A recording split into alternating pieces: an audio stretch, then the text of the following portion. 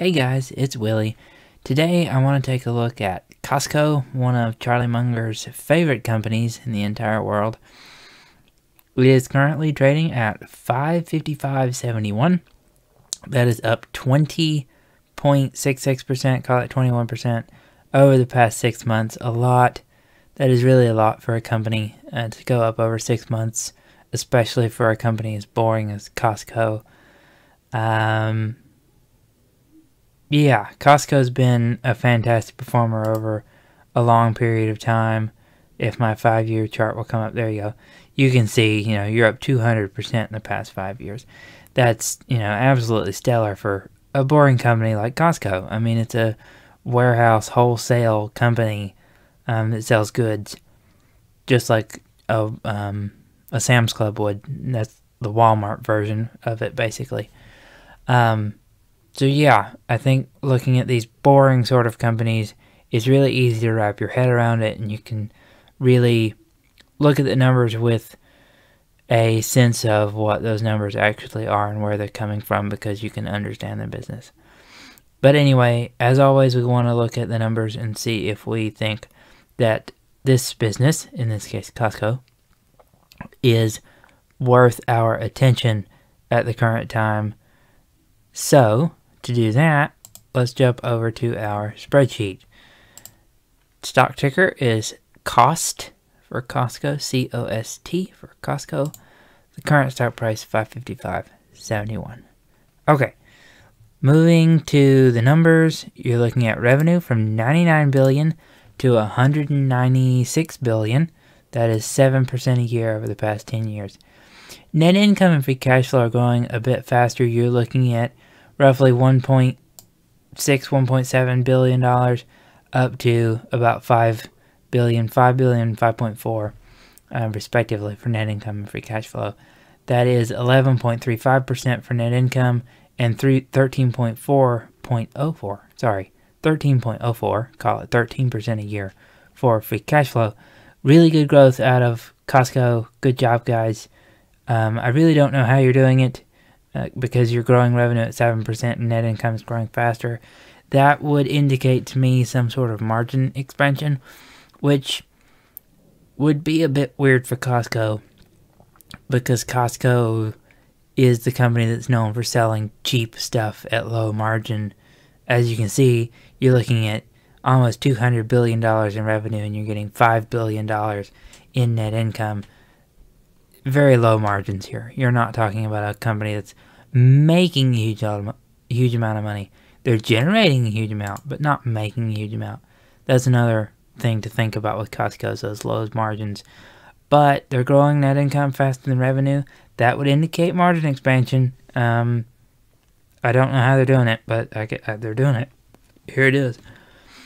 Shares, shares outstanding. We want to see these going down. They're not. We went from 439 million shares to 444 million shares. It's up, but it's not enough to be concerning. I wouldn't worry about this at all. If it keeps at this rate, it's fine. It's completely fine.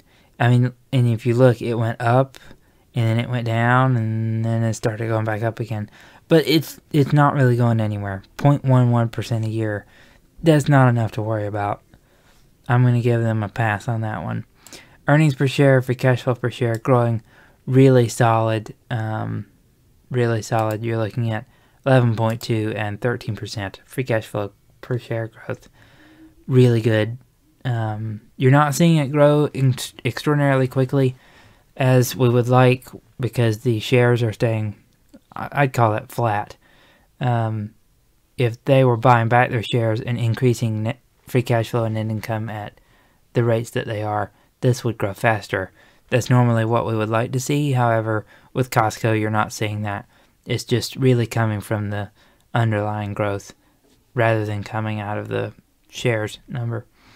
Total assets here they are 27 billion to almost 60 billion in 2021, 8% growth a year.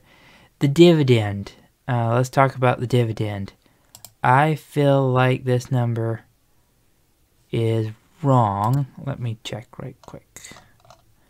2021. Yup, I guess it is. That's strange. Am I looking at that wrong, guys? No, I'm not looking at it wrong. That is a correct number. The reason why I got confused with this is because Costco does special dividends. So, like right here, here, and here, and here, they issued a one time special dividend that is significantly larger. So, if they're issuing, you know, 50 cent dividends a quarter, they'll be um, either one quarter or just a random date at which they may issue a dividend of like $7 or $10 uh, just as a dividend. So this is why it seems to jump around all over the place. But if you look at the long-term trend, you're seeing an upward trend in the dividends, which is what we want to see. It shows us that management is comfortable with raising its dividend, paying its investors more in, form, in the form of a dividend, and they feel comfortable enough to keep raising it. They feel comfortable that they'll be able to keep paying that dividend and keep paying the increased dividend over time. This is good. This is a good uh, sentiment for the business. Total debt has gone up at 11% a year. Not really something I like to see. Cash only going up at 9.63% a year. I mean, where are you going to get the cash from? You're not generating a whole lot of it. Again, low margins. And then you've got your net debt number. You know, take your debt, throw your cash at it, you get your debt you're not looking at a whole lot of debt, really. You're looking at $30 billion. However, however, if you compare that to free cash flow, that's significant. If you compare it to revenue, well, who cares? But you would be paying that money off with the free cash flow. So it needs to be put in relation to free cash flow. You're looking at what, six times free cash flow? Which is a bit higher than what we'd like to see. Uh, but it's not terribly unreasonable. And uh, Costco has consistent and consistently increasing free cash flow. So I feel like it's okay. It's not crazy high and they've got solid cash flow. ROIC, solid double digits. Especially good for a company that is as boring as Costco in the sort of grocery business, but they sell a lot of other stuff too. I don't know what you would call. What do you call Costco? It's not a grocery store. It's a warehouse club or something. I don't know. Anyway, PEs, price free cash flows, they indicate how expensive or cheap a stock is. You can see it's a lot of red. You're looking based on current PE, it's over twice what we want to pay it. Price free cash flow, over twice what we want to pay it based on the five year numbers, it's more like three times what we want to pay for it. Yikes, not a good sign. Net debt to five year free cash flow, 6.7 times. So that's taking the current debt number, the current net debt number, and comparing it to the average of the past five years of free cash flow. We want that ratio to be under 5. It's 6.7. So that means it would take 6.7 years of free cash flow to pay off their net debt. It's a bit high, but I think for Costco it's okay. I don't have I don't have much of a problem with Costco having this much debt. I think it's fine. Revenue growth good, earnings growth good, free cash flow growth good. Shares are going up, but only slightly, so I'm gonna give it a pass on that. ROIC over 9%, most definitely. It's at an average of 15.88% over the past five years. Good job, Costco.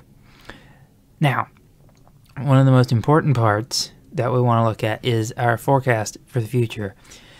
I would consider myself being somewhat aggressive here. I'm actually going to go ahead and change the multiple because I think Costco is an above average business.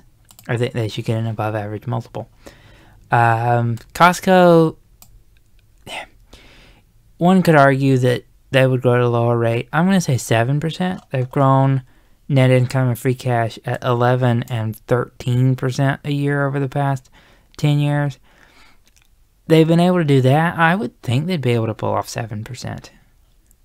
I mean, and that puts them at roughly, I think it was about $400 billion in revenue, which is up there with Walmart. But honestly, I think Costco could be bigger than Walmart, if I'm honest. Costco is not in that many countries at this point. Walmart seems to be in practically all of them. Costco has a long way to go before they get to Walmart size, and I think Costco can I think Costco can catch up, at least catch up to Walmart. I don't see why they couldn't. I think there's a lot. I think Costco is a better business than Walmart, and I think there's a better reputation for Costco than Walmart. I think customers tend to trust Costco more than they do Walmart. But anyway, that's into some more uh, qualitative factors. We're just looking at quantitative here. So I'm saying 7% growth rate, just simple, straightforward, with a 20 multiple. Same for net income. This gives us free cat based on free cash flow, 476 price target in 10 years. Net income gives us 444, let's say. So we come over here. You can currently buy it at 555.71. Here's our two price targets. The average of those two price targets is $459.76 in 10 years.